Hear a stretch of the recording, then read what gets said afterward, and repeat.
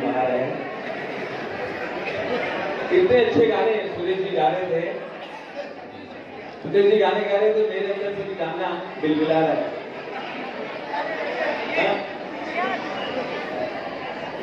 चलो चलो, फिर करो फिर करो। खड़े हो खड़े हो खड़े हो, खड़े करो तो मज़ा आएगा कॉमेडी होता है ना। हाँ जी अब धीरे माहौल बना पाँच मिनट जाता है माहौल बनने में। है पूरे कुछ समझा रहे हैं अरे बेटा उठा दिया मन पे बोलना चाहिए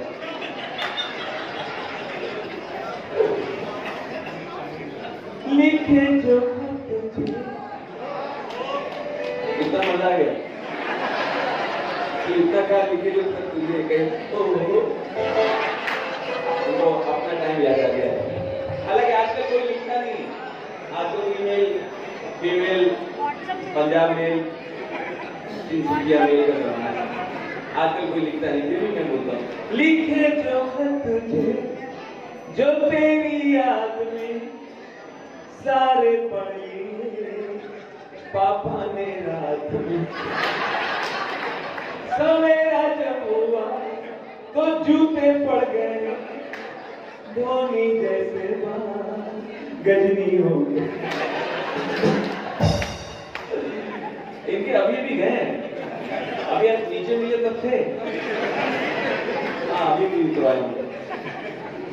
कर रहे हैं कि नए परिवेश में आज जब पूरे देश में नई सरकार ने एक नया क्रांतिकारी कदम उठाया है धारा तीन सौ सत्तर कश्मीर से हटाने का एक बड़ा संकल्प जो पहले से भारतीय जनता पार्टी का था, वो पूरा हुआ है। जिसके लिए इस बार नए परिवेश में नए जोश के साथ कजरी महोत्सव मना रहे हैं। ये कजरी महोत्सव उत्तर भारत की एक संस्कृति है।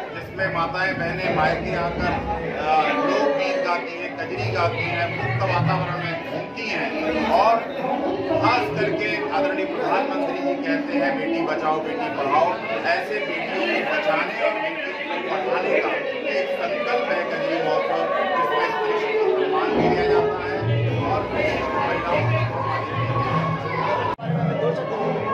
बहुत शानदार कार्यक्रम रहा, मैं इस वक्त मीरा भाईंदर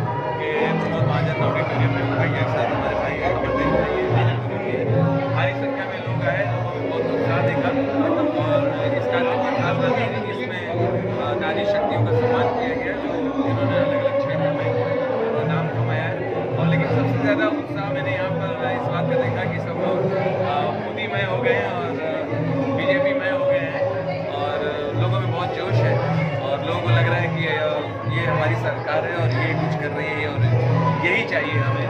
और तीन सौ सत्तर हटने के बाद तो जगह उत्सव मनाया जा रहा है। इसको आप दिवाली कह लें, इसका आप कुछ भी कह लें। सब लोग बहुत प्रसन्न हैं। मेरी हैप्पी जी मैं ऐसे कार्यक्रम में आया। पंद्रह अगस्त आ रहा है और रक्षाबंधन आ रहा है। तो इसमें आप हमारे दर्शकों को दर्शकों खुश रहो एंजॉय करो मज़ा करो मौज लो नाटक ना करो निशान प्रति नहीं करने का समझेंगे तुम्हें दिल डालेगा। आज ये कार्यक्रम था कजरी महोत्सव इसके बारे में हमें दो कहेंगे? नमस्कार मैं ये बड़ा अच्छा उत्तर भारतीय मोर्चा की तरफ़ से बीजेपी की तरफ़ से ये प्रोग्राम का आयोजन किया गया है। बहुत अच्छा प्रोग्राम बड़े अच्छे से सारे लोग एंजॉय कर रहे हैं। तो मैं भी इसका छोटा सा एक गेस्ट के तौर पे यहाँ पे हूँ। बहुत अच्छा है सर और बाकी मैं आपके सभी दर्शकों को रक्षाबंधन की और हमारे स्वतंत्रता दिवस की हार्दिक शुभकामनाएँ।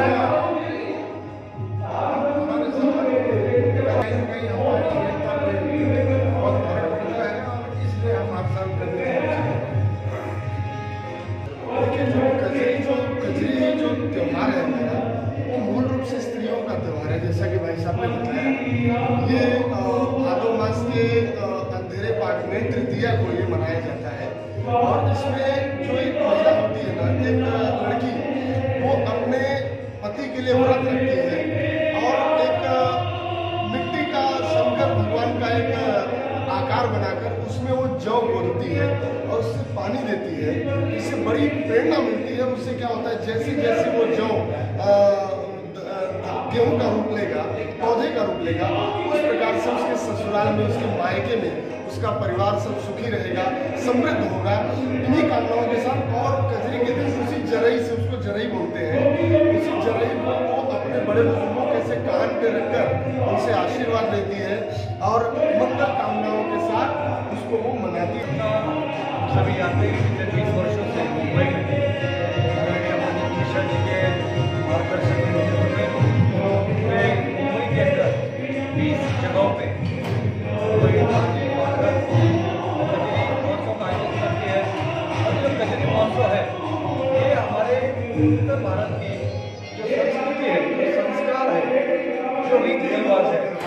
परिचायक है और ये से श्रावण महीने में मनाया जाता है है कजरी है इस त्यौहार के दिन में कजरी एक पारंपरिक लोकगीत जो उत्तर भारत की महिलाएँ कजरी के माध्यम से अपने मन के उद्गार को व्यक्त करती थी गाँव में तो अभी भी पेड़ों में अ, झूले झूलते हैं पूरे बड़े बड़े पट्टे पड़ते हैं झूले झूलते हैं और गीत गाया जाता है उल्लास का खुशी का माहौल और व्रत और त्यौहार किए जाते हैं। पति, परिवार और सभी के सुखी कामना के लिए।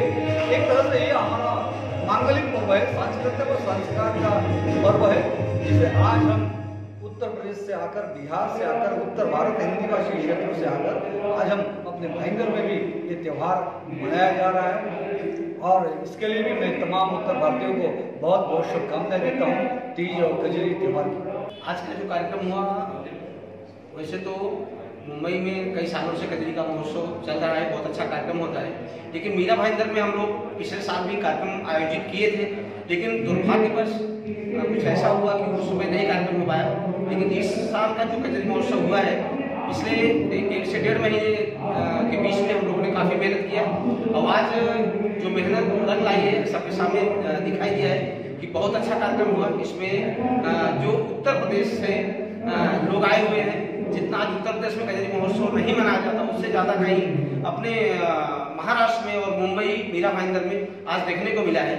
और यहाँ बहुत अच्छा कार्यक्रम हुआ है। इसके लिए हम अमरजीत भैया का बहुत बहुत धन्यवाद देना चाहते हैं। उत्तर भारतीय मोर्चा के अध्यक्ष देव प्रसाद उपाध्याय भैया, ये सब लोग ने बहुत मेहनत किया और आज बहुत अच्छा लगा है। ये देखिए आमतौर पे ये उत्तर प्रदेश का एक लोकगीत है, जो सावन के महीने में तीन तरह से गाया जाता है।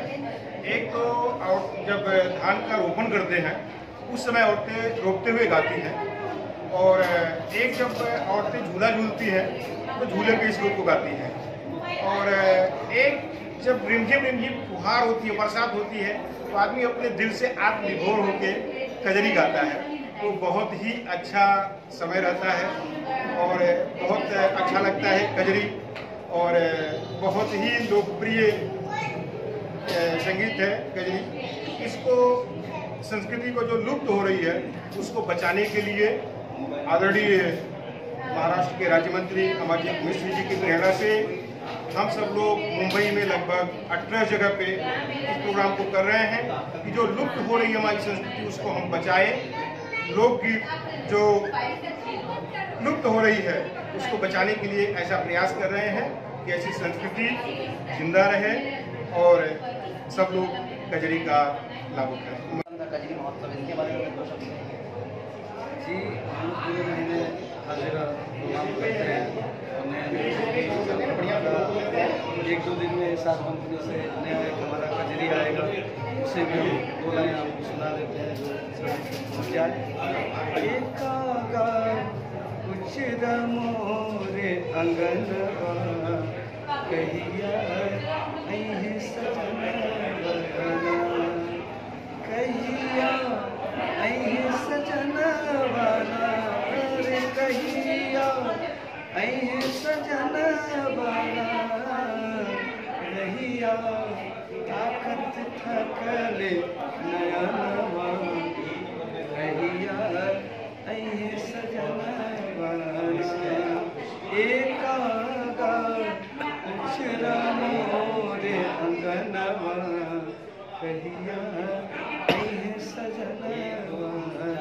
तीन कड़ी का गीत है। जल्दी आप लोगों के सामने आएगा और आशा करता हूँ कि सभी को पसंद आएगा। तो अपना प्यार दुलार आशीर्वाद दीजिए।